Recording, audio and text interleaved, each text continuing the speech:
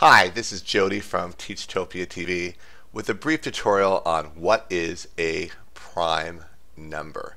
Now first of all, a prime number is a rather simple concept, but you must remember one thing. 1 is not a prime number. In fact, a prime number must be greater than 1.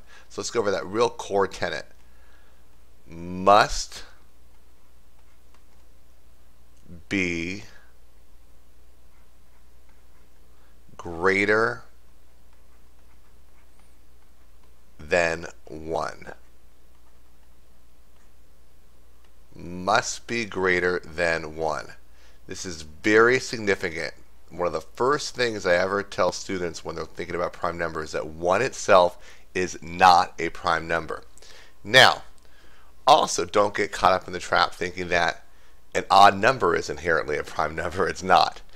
So basically, what is a prime number then? Well, it must be greater than 1. But what a prime, prime number also is, is that it's divisible only by the number itself, divisible only by the number itself and 1. So for example, let's do several examples here to really make sure you understand what a prime number is. Let's think of the number 5.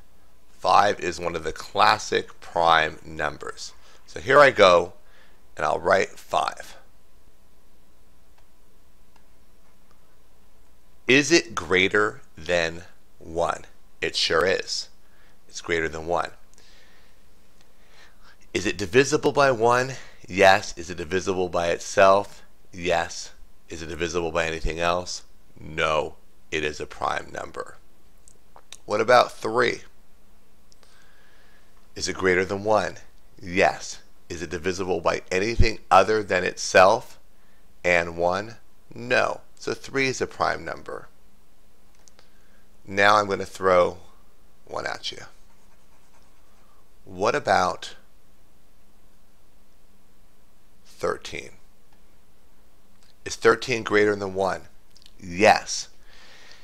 Could anything be divided into it, or is, um, are there any divisors other than 1 and 13? Well, let's think. Does 2 go perfectly into 13? Sure doesn't. Does 6 go perfectly in? No. The only divisors that I could think of are 1 and 13. So therefore 13 is also a prime number. So 13 equals a prime number.